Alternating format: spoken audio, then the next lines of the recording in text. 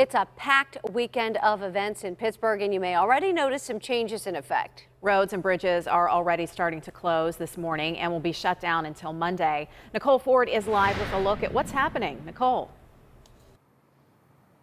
Christine Kim, it's one of the biggest events of the year in the city of Pittsburgh, and it happens right here on the Andy Warhol Bridge. Check this out. Preparations already underway for Picklesburgh. You can see tents for vendors up. Then over here at the beginning of the bridge, police barricades. And this is just the beginning as these festivities kick off later on this week. No amount of rain is halting the setup for Picklesburgh this weekend we know uh, historically it's one of the most significant and, and well attended events um, throughout the year in Pittsburgh. And the Pittsburgh Downtown Partnership is hoping the turnout this year is no different.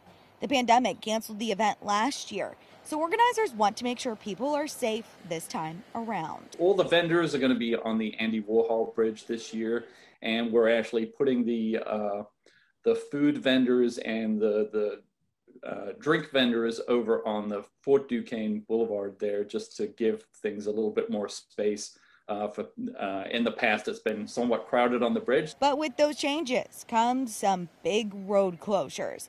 The Andy Warhol Bridge and part of Fort Duquesne Boulevard between 9th Street and Stanwix Street will be closed for Picklesburgh.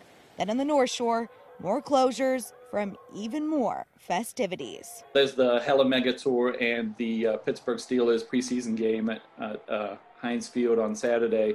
Um, so yeah, if people could just uh, you know be as patient as possible. Obviously, we're trying to create a, a, a level of vibrancy downtown. As for the concert at PNC Park, traffic changes and parking will be similar to Pirates games.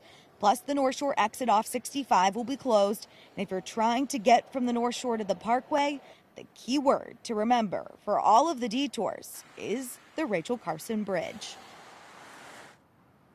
Now, before you head into the city for any of these events this weekend, make sure to check the websites for the mask and vaccine requirements.